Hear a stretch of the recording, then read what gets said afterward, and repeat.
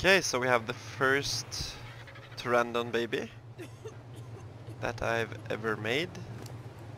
Uh, and I'm going to try to let it grow up. But it has 1200 health, which is pretty low. Uh, 382 stem, which is average. Uh, 220 weight, which is pretty high. And 310 melee, which is also pretty high.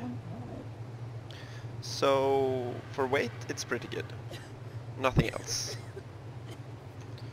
Or the melee is okay, I guess. So we've got a Lystro here, which uh, makes these dinos level up. This has gotten 2.5k XP in not that much time. Let's check these guys. Yep, this guy has leveled up three times in just a little while. This one has too much XP, but we're um, you can see it got this uh, well health. It got the better melee from the other one. And yeah. Nothing else uh, special, but let's put more points into melee on this one. This is a damage Argy. And this is a weight Argy with 2.2k weight. Then we have this one, which is just like a weight. This has 239%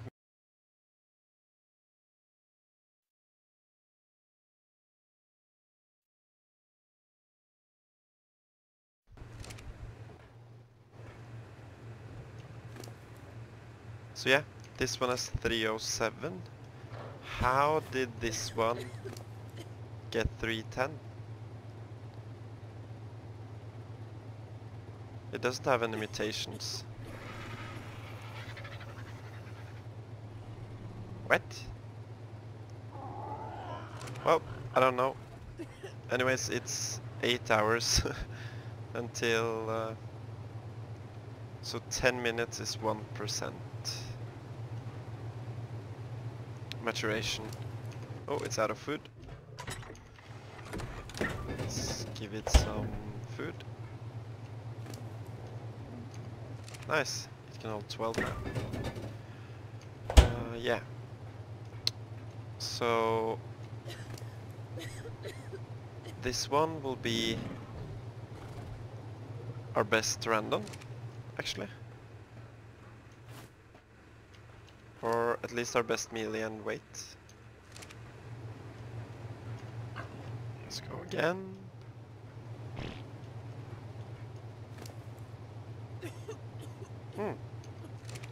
I didn't know you could get like increased stats without a mutation. I don't know enough about uh, breeding. So let's see, the Anki is at 405% melee. Doedic is at 832 health. No, wait. This one is at 365. So now this will be the Banky, Even though it has 14k XP.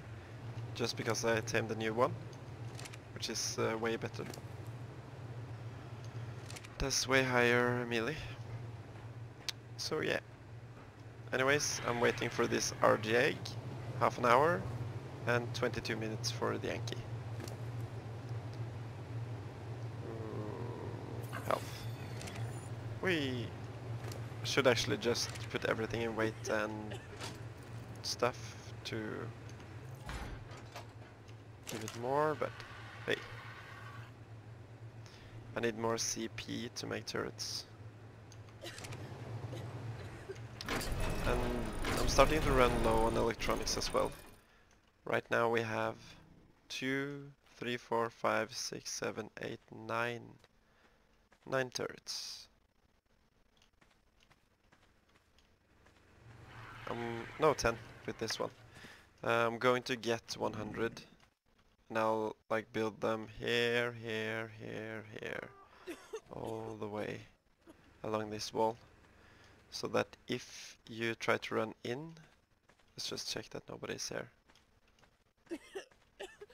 if you try to run in, you'll get shot from here. So you can't walk through here, right? Yeah. So here you'll start to get shot, so if you run through, boom.